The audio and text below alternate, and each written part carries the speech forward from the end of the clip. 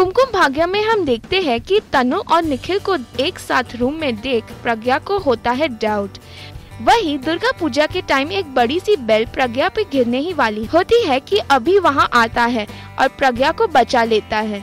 दूसरी तरफ़ तनु और राज में आर्ग्यूमेंट होती है एंड तनु प्रज्ञा को मारने की बात कहती है।